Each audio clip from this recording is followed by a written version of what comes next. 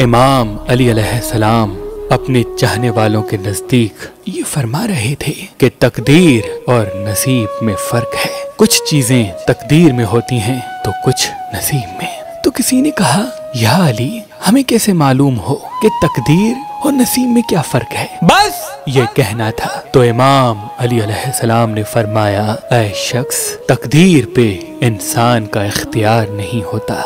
जैसे तुम अपनी माँ तब्दील नहीं कर सकते। जो तुम्हारी माँ है, ज़िंदगी भर वो ही रहेगी। तुम अपना बाप तब्दील नहीं कर सकते। तुम अपने पैदा होने के लम्हात तब्दील नहीं कर सकते।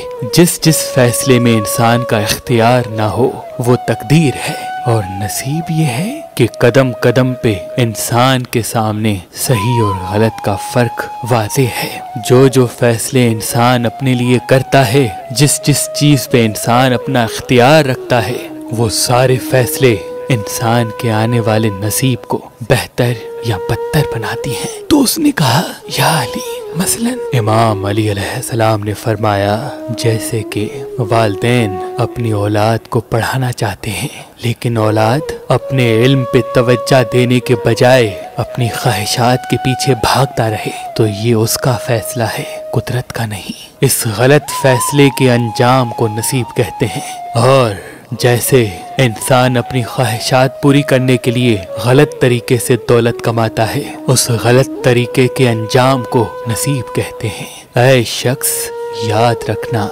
अल्लाह किसी का बुरा नहीं करता। इंसान के गलत फैसले इंसान का बुरा करते हैं। तो उसने कहा, या अली, अगर कोई सही फैसले करता रहे, फिर भी उसकी ज़िंदगी तकलीफों से भर जाए।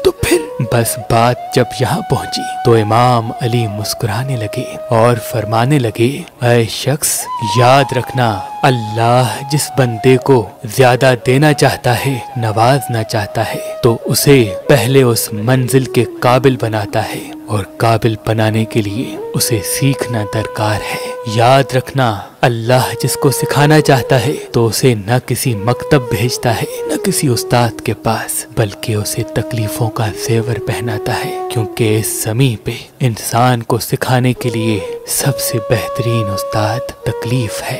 अल्लाह उसकी तकदीर में तकलीफें इसलिए लिखता है, ताकि वो तकलीफें देख देख के उस मंजिल के काबिल हो जाए, जो मंजिल अल्लाह ने उसके लिए रख दी है।